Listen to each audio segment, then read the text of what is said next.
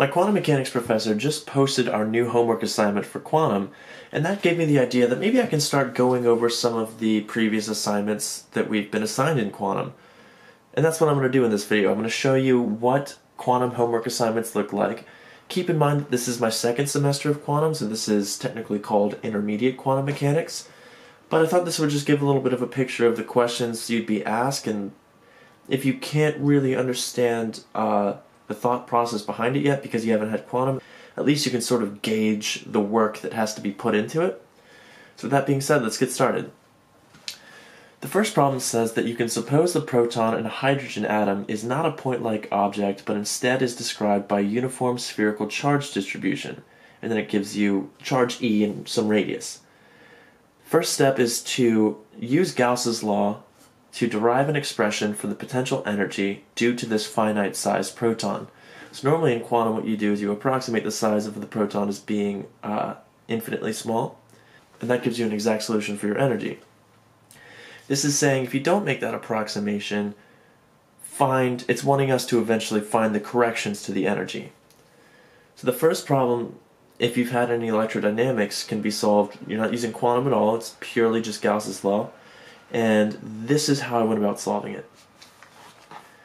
Here, uh, I, start with, I started with the definition of Gauss's law and really just plug and chug my way there. If you've had any E&M, this should be nothing too, pro- too profound for you.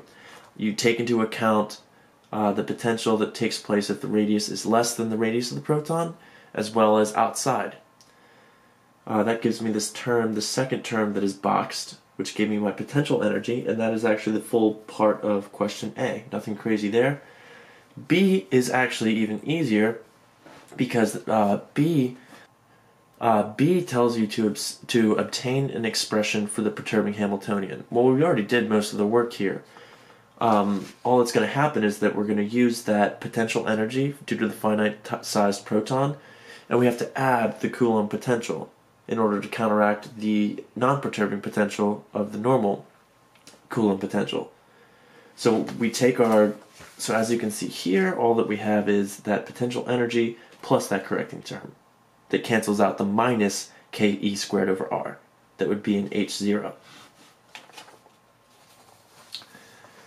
Okay, uh, so so far so good. So far this has been pretty easy.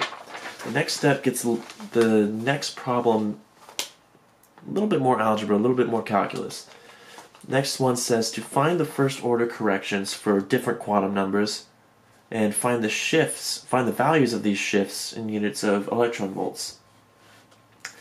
Uh, and this is where, so that where I lost a point is actually not on the, not in the actual quantum mechanics of the problem, but rather, it's kind of embarrassing, but actually just plugging in the numbers me uh, some wrong answers here and there. Uh, the note says that you can assume that big R is much less than the Bohr radius. That's what A sub 0 is. And then below that, it gives you three different radial wave functions. Now, a light bulb went off when I saw this, and I said, that means that I can approximate all of these exponentials as a Taylor series, which means I can approximate all of these exponentials as polynomials. So when you find the correction to the energy for these different quantum numbers, it's as simple as just sandwiching your Hamiltonian in between your two wave functions and evaluating the integral. Now, where this Taylor series thing gets useful is that we're integrating over three space. Okay, we're integrating in spherical coordinates, which tells you that there's going to be an r squared, a factor of r squared at least in all of these terms, because in spherical coordinates you have r squared sine theta. So that means that at the very least you have an r squared being multiplied by this e to the minus r over a0, which implies that you would have to use integration by parts at least twice for each of these. Keep in mind that the perturbing Hamiltonian also has factors of r for the given for the different wave functions, which just increases the number of times that you'd have to use integration by parts. So the fact that we could approximate this whole thing as polynomials makes it so that all we have to do is a bunch of power rules. And that's what I did, and that's why you see all these terms here. And at the bottom, I say that I just evaluated all this stuff in Python. which gave me a certain energy, and it's just the numbers that I put in. I was a little bit rushed for putting in the numbers, which gave me not not correct answers. Uh, I was told that the method was completely right, just rushed on putting in the numbers, and got got some stuff wrong. Next problem is exactly the same. The only difference, really the only difference here is the wave function. We're just sandwiching in that wave function, or we're putting the Hamiltonian in between that wave function and doing the exact same thing. So the trick was just to realize, oh, all you have to do is take the expectation value of the Hamiltonian three times for these three different sets of quantum numbers. And there was really nothing else to that. Um, here's the third page where we do it again for the third wave function, which is actually easier. So the second one was the so the second wave function was the one that had the most I guess algebra just because if you distribute that exponentially you have two terms. So it's just twice the amount of power rule, I guess.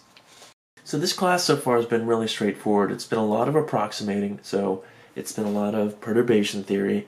It's been a lot of uh, very, or we're starting to get into variational methods, but it's a lot of what is the energy almost, and what is almost the wave function. Um, because in, I guess in the real world you don't always have these nice closed form things to work with. So it's nice to show, so it's nice to learn how to work with things that are uglier, work with situations that are uglier. Two days from now, I might be getting my quantum midterm back, so I'm considering doing sort of the same thing here with that, just to expose you to that exam. Uh, or maybe I'll just show what I got. Maybe people aren't too interested in seeing the questions. Either way, hope you guys enjoyed this video. Let me know in the comments if you did, and I'll see you guys there.